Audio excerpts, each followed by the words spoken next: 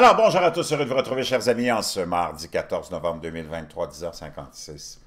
Heure du Québec, merci à ceux qui sont abonnés, ceux qui ne le sont pas. Faites-le maintenant, on va plonger dans le vif du sujet.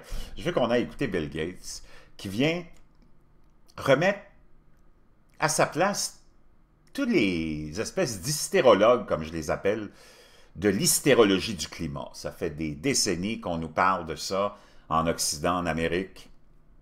Ça a été le, dans les années 60-70, le refroidissement peut-être global qui arrivait. N'est pas arrivé. Après, on est sauté dans le réchauffement global. C'est pas arrivé non plus. On a parlé maintenant de le trou dans la couche de zone qui devait éradiquer ou donner le cancer à tout le monde, les pluies acides, éradiquer la vie dans tous les cours d'eau, et j'en passe et j'en passe. L'urgence climatique, parce qu'on n'avait pas de réchauffement climatique qui arrivait, et maintenant les changements climatiques. on ne veut pas se tromper, on les appelle changements climatiques.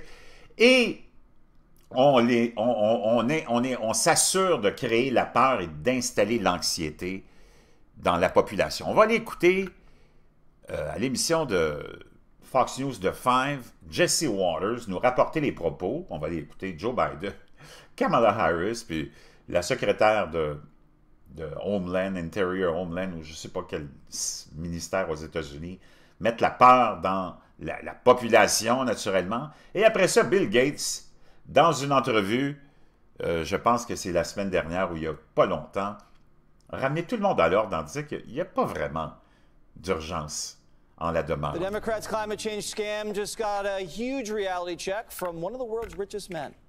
Donc, tous les hystérologues ont eu un petit reality check, hein, une mise au point faite par nul autre que Bill Gates. The Al Gores and the AOCs of the world love to exaggerate the effects of global warming, constantly warning us how boiling oceans are going to donc, on est toujours là à nous faire peur, nous dire que la fin du monde arrive, que les océans sont en train de bouillir. Doom humanity soon. Et que ce sera la fin du monde.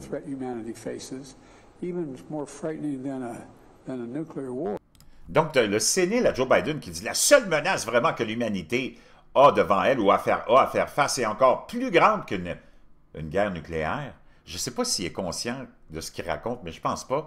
Une guerre nucléaire, ça, ça créerait des millions et des millions de morts. C'est complètement fou ce que Joe Biden est en train de dire là-dessus. Donc, on va continuer. The Democrats' climate change scam just got a huge reality check from one of the world's richest men. The Al Gores and the AOCs of the world love to exaggerate the effects of global warming, constantly warning us how boiling oceans are going to doom humanity soon. And the only existential threat humanity faces, even more frightening than a, than a nuclear war, is global warming going above 1.5 degrees in the next 20, 10 years. 1.5 dans 20, oh, 10 ans. About a, a term they've coined called climate anxiety. Oh, l'anxiété climatique. Right? Which is right? Vous, avez, hein? vous dites oui, là. Vous êtes en train de vous demander si, si, si vous êtes capable d'avoir des enfants ou d'acheter une maison. On n'est peut-être pas capable d'acheter une maison parce qu'elles sont rendues trop chères. We have an obligation to future generations to make sure that we have a planet for them to live on. That's what's boiling the oceans, creating these atmospheric rivers and the rain bombs and sucking the moisture out of the land and creating the droughts and melting the ice. but now the constant climate doomsday talk is getting some pushback from Bill Gates, of all people. The billionaire says Democrats are full of hot air. There's a lot of climate exaggeration, you know, that climate is not the end of the planet. So the planet's Il y a beaucoup d'exagération. Le climat, c'est pas la fin de la planète. La planète va être correcte. On va pas arrêter le développement. Uh, c'est tout ça, c'est juste des chiffres. Est-ce qu'on va atteindre le 1.5 d'augmentation? Non, pas du tout. Est-ce qu'on va atteindre 3 degrés? Non plus. On va être en dessous, on va être dans l'espèce de marge qu'on a. Plus c'est bas, mieux c'est. And the, you know, the sense of progress, it's important for people to see that emissions in many areas have come down. toutes les émissions ont baissé dans plusieurs domaines. Donc, chers amis, tout ça, c'est de la propagande, naturellement, pour faire peur au monde.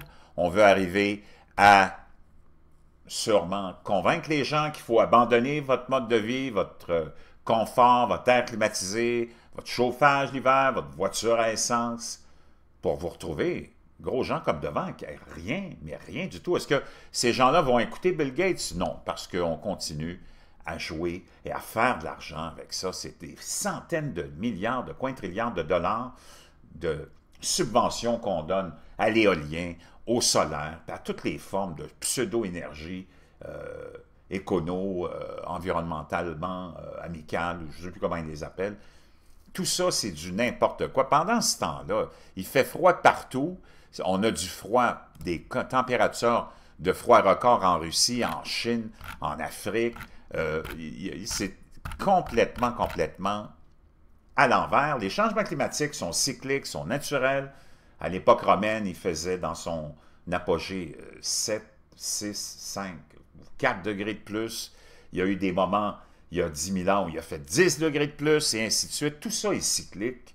Puis il faut vraiment tout prendre avec un grain de sel. Tout ce qui nous vient de ces mêmes acteurs, nos politiciens, les médias, qui nous ont envoyé tuer un million d'Irakiens, qui nous ont fait faire toutes sortes de folies au nom de ce qu'eux voulaient avancer comme idée et comme agenda, je pense qu'il faut les prendre vraiment avec un grain de sel. Et c'est Bill Gates qui nous le rappelle. Vraiment intéressant. Je vous laisse ça dans la boîte de description.